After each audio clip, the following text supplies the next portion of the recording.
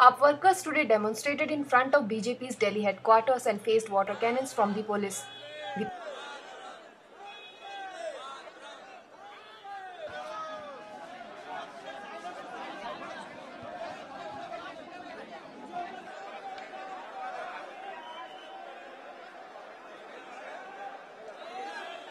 The protest came after Arvind Kejriwal was briefly detained by the Gujarat police when he was touring the state, as he violated the Model Code of Conduct hours after the Lok Sabha election schedule was announced.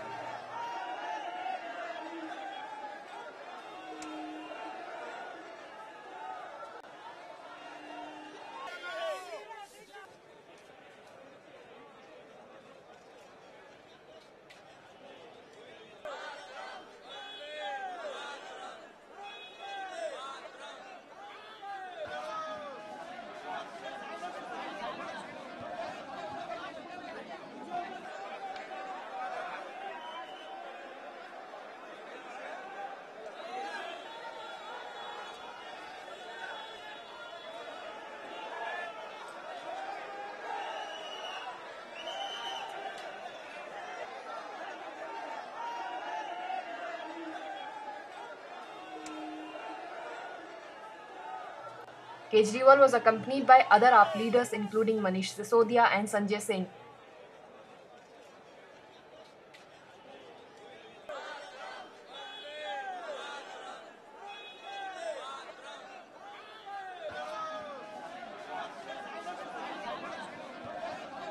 They were welcomed by a large number of AAP members who were seen carrying brooms and shouting slogans Sheila Dikshit Hari hai, ab Modi ki bari hai.